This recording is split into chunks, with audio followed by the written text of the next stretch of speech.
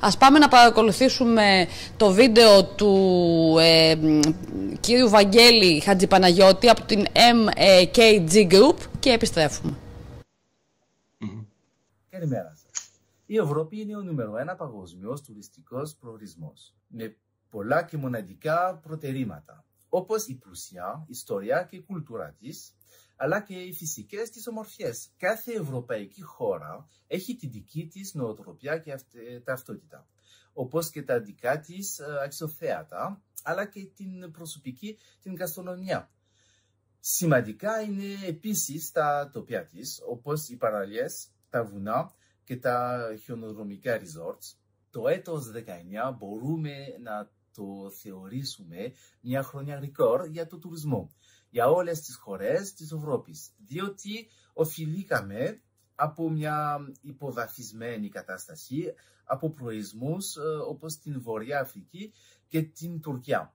Επίσης, οι παγκοσμίοι τουρίστες ερχόμενοι από την Ασία και την Βορειά Αμερική προς την Ευρώπη ήταν πολλαπλοί. Στο τέλος του πρώτου τριμηνού του 2020, η κρίση του κορονοϊού μαστίγωσε τον, την Ευρώπη, ξεκινώντας πρώτα με την Ιταλία και έπειτα με τις υπόλοιπες ευρωπαϊκές πόλεις, ήμασταν απέναντι σε μια πρωτογνωρή κατάσταση.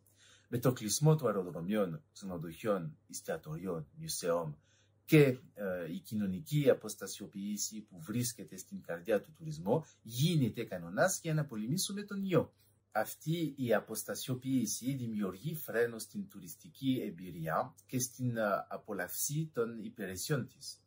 Η βιομηχανία του τουρισμού είναι βασικός κινητήρας της οικονομίας της και αντίστοιχη σε πάνω από 12 εκατομμύρια θέσεις εργασίας. Η Γαλλία, η Γερμανία και η Αγγλία αντιστοιχούν μεταξύ 7 και 9% του ΑΕΠ.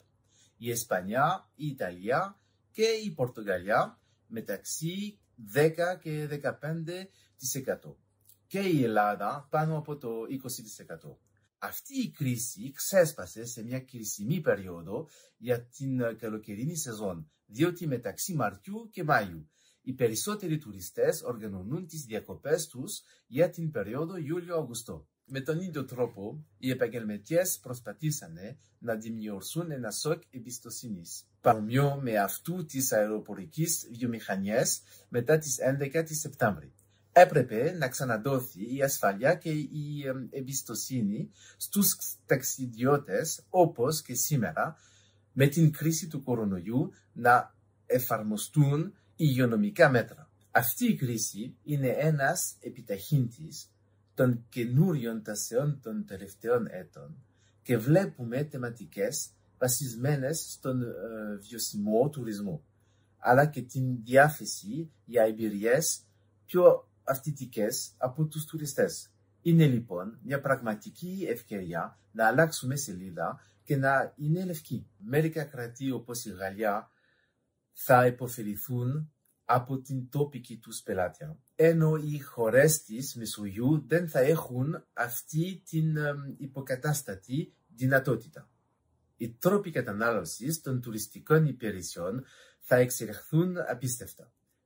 Οι πελάτες θα αναζητήσουν πιο εναλλακτικές και ιδιαίτερες εμπειρίε που θα κερδίσουν το ενδιαφέρον τους, όπως ο ενοτουρισμό, ο αγροτουρισμός και οι ασυνηθιστές διαμονές θα είναι πιο ελκυστικές. Έτσι ακριβώς θα δοθεί και η ευκαιρία για τον τουρισμό του yachting, διότι θα είναι ταυτόχρονα μια πρωτοποριακή εμπειρία για τους ταξιδιώτες, αλλά και ένας άμεσος τρόπος να νιώσουν ασφαλιά, διότι θα είναι ένας πιο ιδιωτικός τρόπος διακοπών διαμορφωμένος μεταξύ οικογένειας και φιλών. Η κατάσταση θα είναι περίπλοκη για τους επαγγελματίες του τουριστικού τομέα τα επόμενα δύο έτη.